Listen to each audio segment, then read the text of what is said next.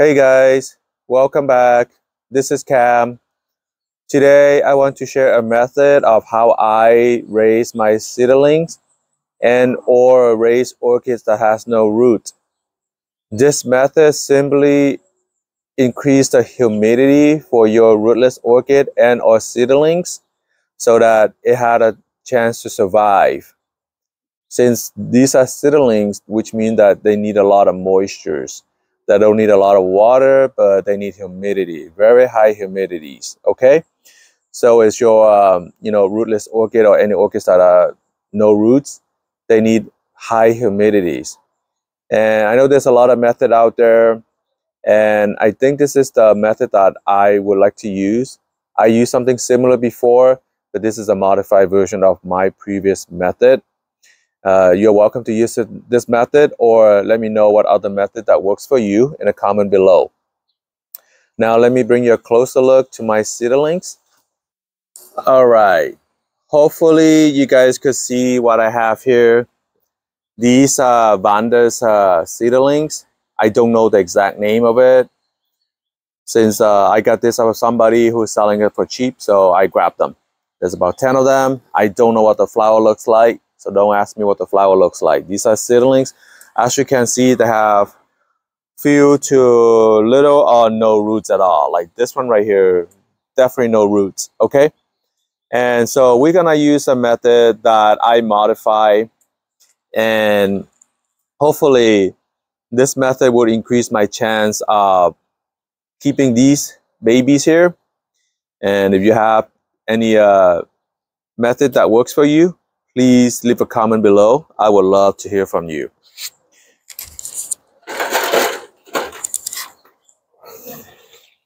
Now, what I have here, basically an aluminum tray. You could use any material of your like.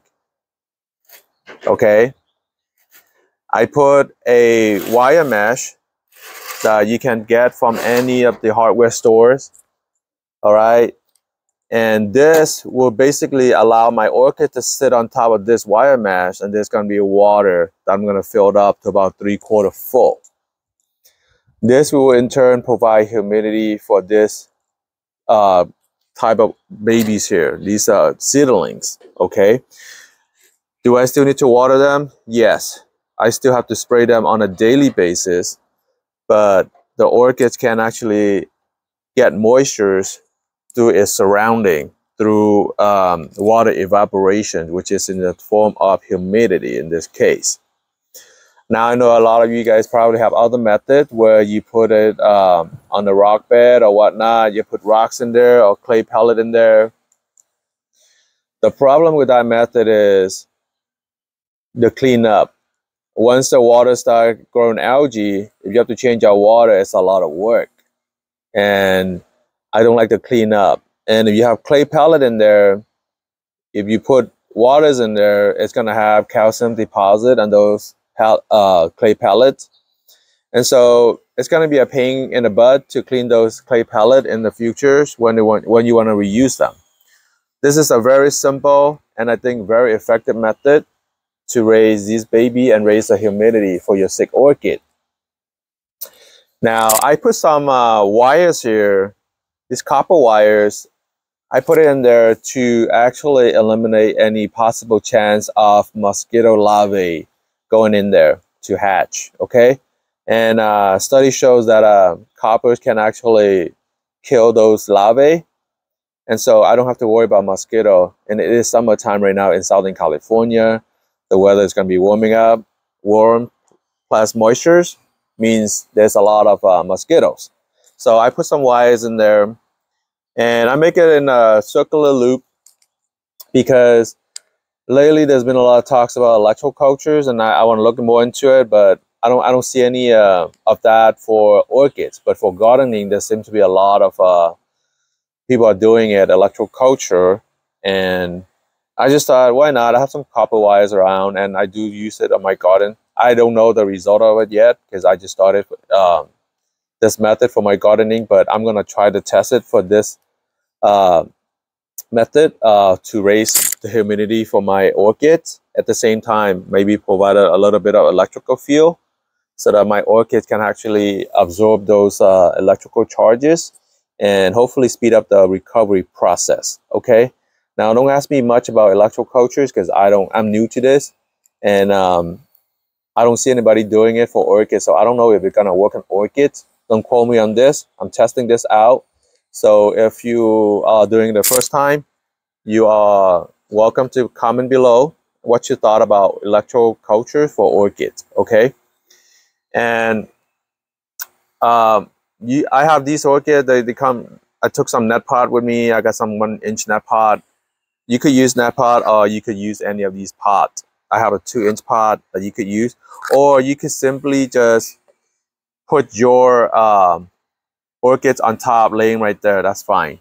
I got a little bug in my tray now. I don't know how this got into my uh, pot. I guess when I leave it in a greenhouse, a little bugger get into my tray. I'll get it out later. So this is what I'm going to use. I'm just going to place the orchid on top. I'll place some on top and some in the net pot to see how they're performing and some maybe on top in the two inch pot here. Now I see some of the rootless one like this. I want to put it on top. So if there is any electric electrical charges, this galvanized mesh here can actually transfer those charges to the plant and hopefully it helps the plants to absorb those um, negative charges, those ions, you so call it, okay?